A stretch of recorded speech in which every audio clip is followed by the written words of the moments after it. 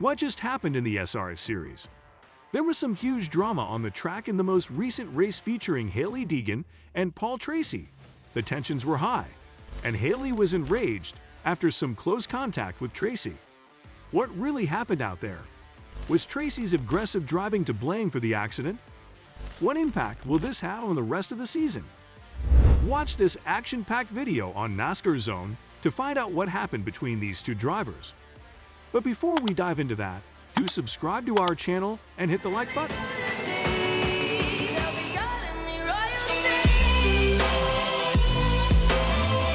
The latest drama in Tony Stewart's SRX series. Some of the first few races, there were some brake issues with several cars, and people were giving Tony Stewart a hard time about it. But guess what? This Thursday at Pulaski County Motorsports Park, the cars ran just fine, except for one of the drivers. Now the third race of the Camping World SRX Series was won by a newcomer, Kyle Busch. But it wasn't an easy win for him. He had to navigate through a bunch of chaos to reach that checkered flag. Things got pretty wild on the 89th lap, and there was a major incident that left four vehicles in bad shape. Paul Tracy was the main culprit here, and his antics caused a massive mess, taking out Hailie Deegan, Josef Newgarden, and Ken Schrader. In the final section of the race, Tracy pushed Newgarden right into the wall on the turn 4 exit, and the collision ended up taking out Deegan and Schrader, who were right behind them. Well, you can imagine that after this mess, a caution was brought out, and when the race restarted, all the cars involved in the incident, except Deegan's, had to retire because of the significant damage. It was not just painful for the drivers, but also for the FURI team members who build and repair those cars. Now, Here's the interesting part. Ken Schrader, who's usually known for his clean and calm racing style, was so frustrated with Tracy that he declared he'll never race with him again. I'd like to see it, but I'm pretty sure green had black shoved into the outside wall. I'm not running another race with him. I'm done. When the dust settled down after the chaotic race, things got pretty interesting. Paul Tracy tried to defend his move, claiming that he and Newgarden had been bumping into each other for a couple of laps, and he accidentally got turned sideways on the straightaway. End of the race, 10 to go or so, and everybody's now running hard. And uh, Newgarden and I were, you know, just he wasn't willing to give up the position on the outside, and I had a, you know, half a car length in front of him, and we just got hooked up, and he hooked me and took me, and that was that was it, you know. The incident caused a lot of emotions and adrenaline during the race, but once it was all over, some drivers reacted differently. Ken Schrader, despite being frustrated during the race, seemed to be surprisingly calm afterward. Hey Kenny, uh, what happened out there? Paul took out three or four cars again. Same thing, every week. Hailie Deegan, who was also caught up in the mess, shared her perspective on the incident it has, and it sucks because like I feel like I'm a pretty nice driver, or at least have been past, the last two races. And I tried to be so nice. And the nice people, me, Brad, uh, Bobby, Bobby's really nice race on the racetrack. He races super clean, he's fast, he'll he'll pump and go, nothing crazy. But like those are the people that get taken advantage of the most. Like I can't. I think Brad's been wrecked every single race here. Like I think I really think he's been killed every single race here. And Bobby just gets ran over even though he's fast. So it just like it sucks because you have to race. Like, like like an asshole in order to not get. And uh, I, this is the first race I did that, and this is a, probably one better. Paul Tracy, who is 54 years old, has been a regular competitor in the SRX races since the series started back in 2021. However, his latest incident during the race raised serious concerns about driver safety.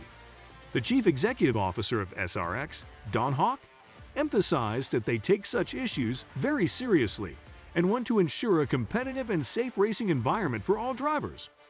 The situation has definitely added some tension and drama to the SRX series, and fans will be eager to see how it plays out in future races. What are your thoughts on the recent clash between Hailie Deegan and Paul Tracy? Tell us know in the comments section below, and be sure to hit the bell button and subscribe to our channel to get the latest updates. The main event at the SRX series brought some thrilling racing action Tony Stewart and Mario Andretti started on the front row, and Stewart quickly took the lead, leaving Andretti behind. Brad Keselowski also made a move, taking the second position from Andretti. Meanwhile, Kyle Busch was making good progress, passing Bobby Labonte and moving up to fifth place. As the race progressed, Paul Tracy joined the action and overtook Labonte to the sixth position. A competition caution was called around lap 14, giving the drivers a chance to regroup. Stewart and Keselowski were at the front again after the restart, and once more, Stewart cleared into turn 2. On lap 23, Busch and Helio Castroneves had a bit of a bump while battling for fourth place. Lap 29 saw Busch making a move to take the lead from Stewart, and he succeeded. But the race wasn't without its incidents. A few laps later, Busch attempted a similar move on Keselowski, which ended up with Keselowski spinning toward the outside retaining wall, causing a caution. After the restart, Busch managed to clear Stewart again, and Clint Bowyer was battling for second position with Stewart.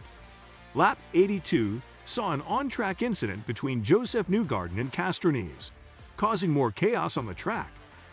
Then, on lap 89, a major incident occurred involving Paul Tracy, Josef Newgarden, Ken Schrader, Hailie Deegan, and Mario Andretti.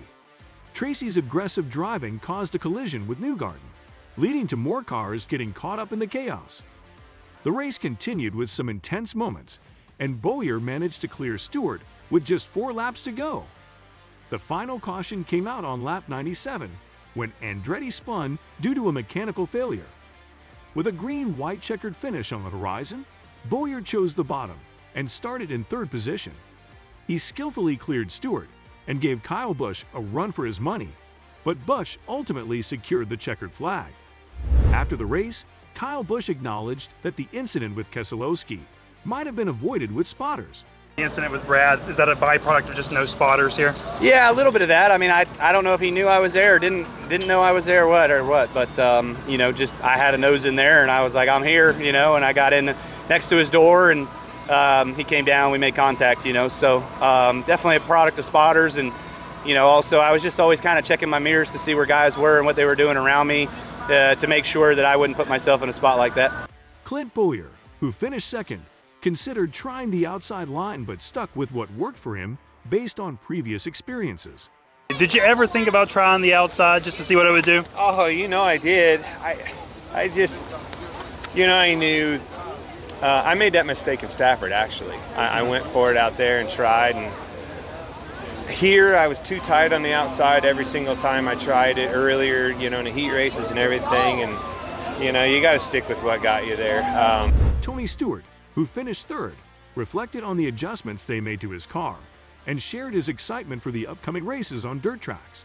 Thought we made the right changes last week, and, and I think hindsight we learned from it, made different adjustments this week to compensate kind of for the same thing, but did it a different way, and it definitely responded to it. So, um, was happy with the changes. Just uh, you know, for some reason, every caution, I just got tighter and tighter in the center of the corner on the restarts and couldn't get the front end to come back. So uh, we got one more pavement race, and uh, then we get to my favorite part. We get to run these things on dirt again. So uh, Kyle and Brad was in front of you. You had a good view of that. What did you see there? Is that just no spotters? Yeah, that's. I mean, honestly, that's really what it is. Um, you know, we, we need to work on our window nets a little bit to make the side mirrors a little more effective. It's there's the very front part of the window net kind of blocks the center of that that uh, mirror, so makes it a little bit harder. But um...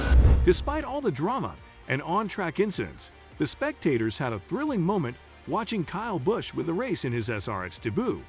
Moving forward, it'll be interesting to see if there's any lingering tension between Schrader and Tracy and how things unfold in the upcoming races. That's all for today. Hope you enjoyed it. And don't forget to subscribe to our channel to see more of our videos on NASCAR updates. Look forward to seeing you in the next video.